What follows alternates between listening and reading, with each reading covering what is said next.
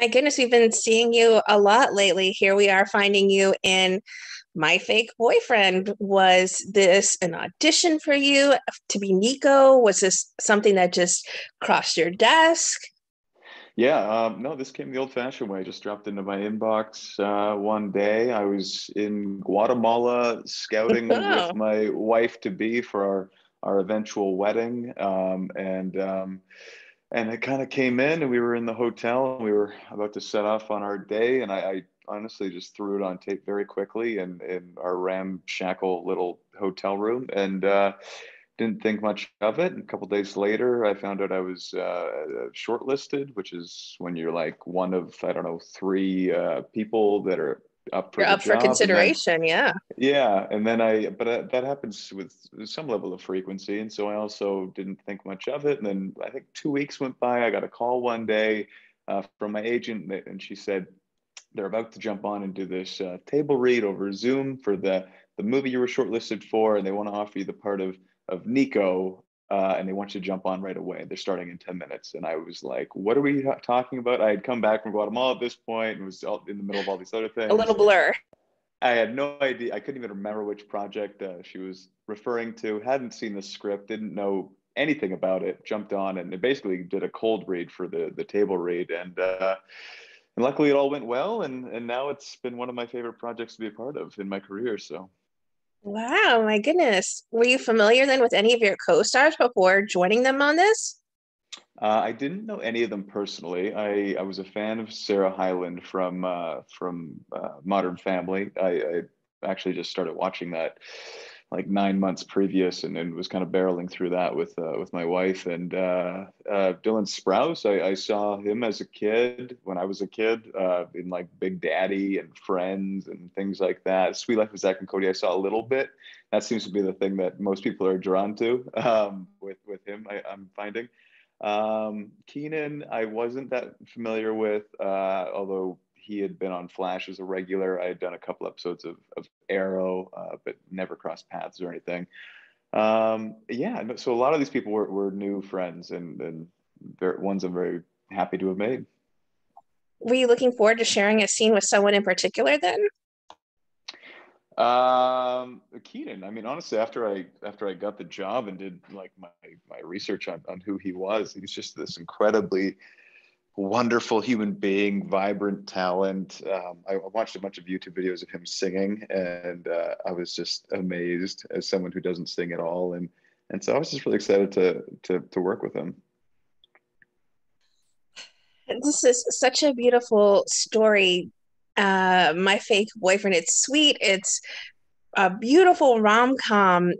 What were some of your favorite scenes to film for it? The the very top of the movie i mean so many of these scenes were were just a blast and i was kind of nervous through the entire thing because uh, the character was such a departure for me um, but some of the scenes that stand out as being the most memorable and fun was uh, right off the top they cut it much shorter than than it uh, had actually been um, during shooting but we do this dance sequence this tiktok dance sequence and and Keiynan is is like a born dancer and, and I know, right? videos. And He's like triple he threat.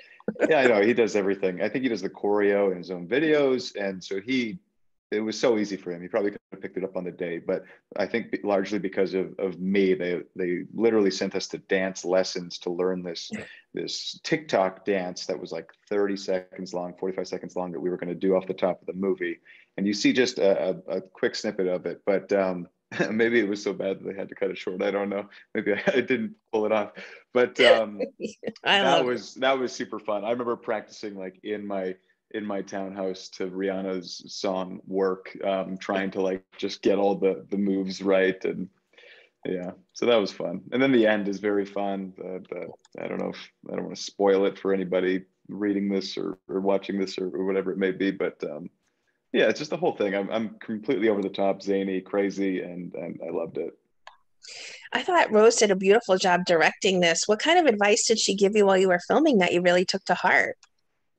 Rose was just so wonderful, such a revelation as a director to work with because she she cares so much. Even even something like this that's sort of a zany uh, comedy. When you hire somebody like Rose, you're going to get these heartfelt, um, honest moments that I really think balance the story.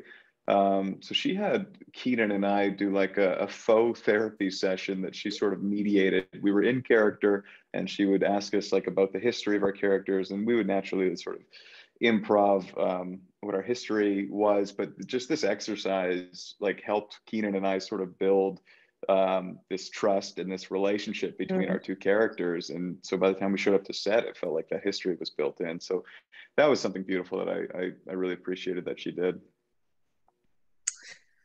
You are a part of social media and the film's out already. What kind of response have you been receiving so far?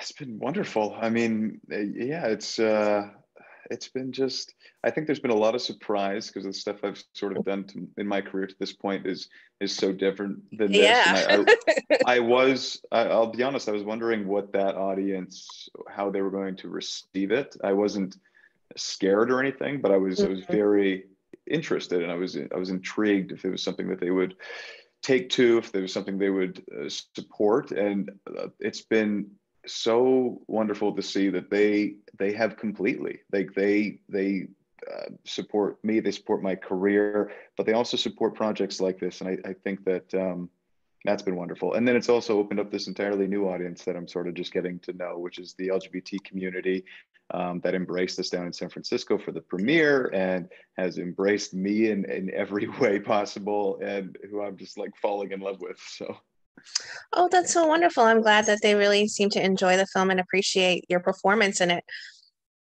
Yeah, yeah, it's it's been great. What do you think it is about the movie then that really makes it such a special rom-com? Um I don't know. I guess what I liked about it is that um it's it's not afraid to be fun and trashy um and and in that it sort of also normalizes the fact that there's an lgbtq storyline at the forefront of it. And i think that some of the conversations i had with my friends in in that community in the lead up to this movie during this movie um, were about the fact that a lot of films that that dissect this sort of uh, subject matter really focus on the the gay experience and, and the hardships that come along with that and stuff. And i was I was really interested and excited to be a part of a project that that just takes it as a matter of fact uh, circumstance of, of modern life and modern dating because that's where we are as a society.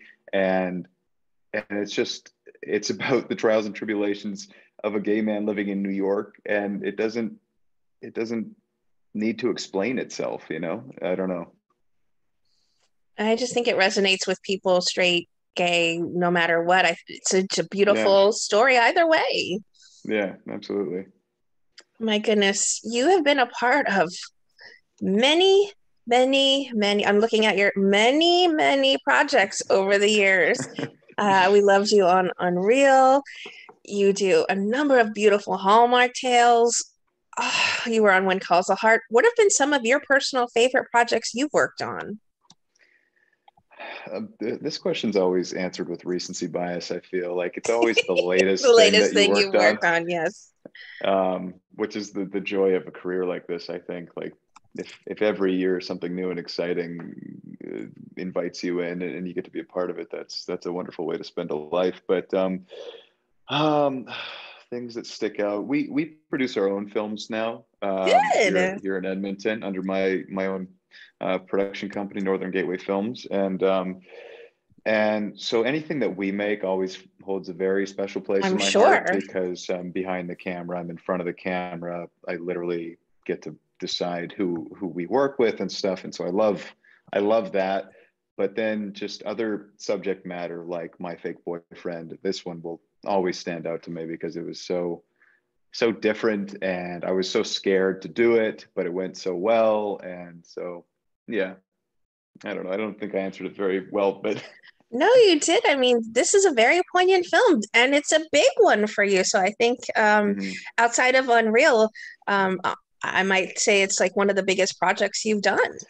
Absolutely, yeah. There's there's no hiding that for sure. Those two definitely stand out as, as larger things that uh, have given me more attention than than things preceding them. So, what's next for you, production wise and on screen?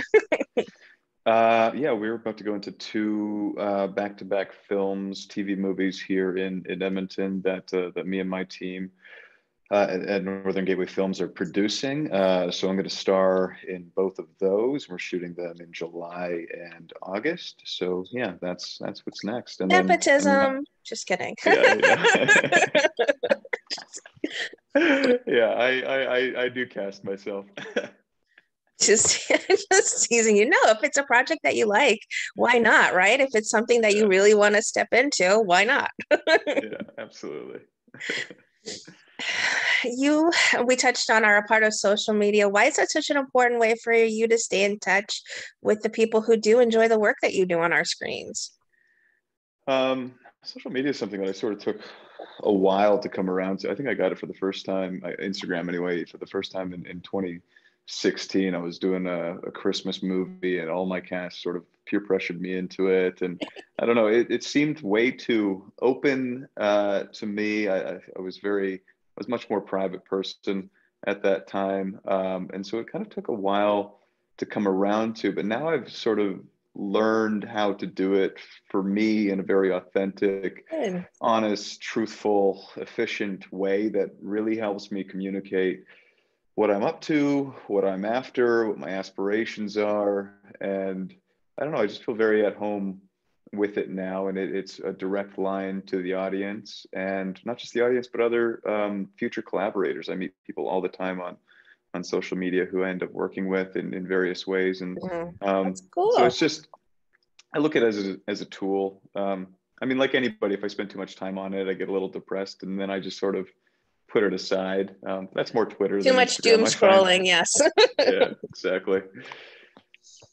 What would you like to say then to everyone who are fans and supporters of the wonderful work that you do? I don't know. Um, uh, thank you for for all the support and and thank you for for the relentless positivity. I, I've been very fortunate to this point to not experience um, the negativity. I oh oh sorry, I'm getting a. Uh, getting this a just in news break yeah, I'm trying. I'm trying to trying to secure a location. I've been waiting for them to call me back. Sorry. um, I'll, well, no, no I'll, I'll call them back after. But yeah, no, I just wanted to say, like, um, I just uh, expect the unexpected. I guess would be the main message. I'm going to continue to try to do uh, new and, and interesting things that uh, that I haven't done before, and I hope that you come along for the ride.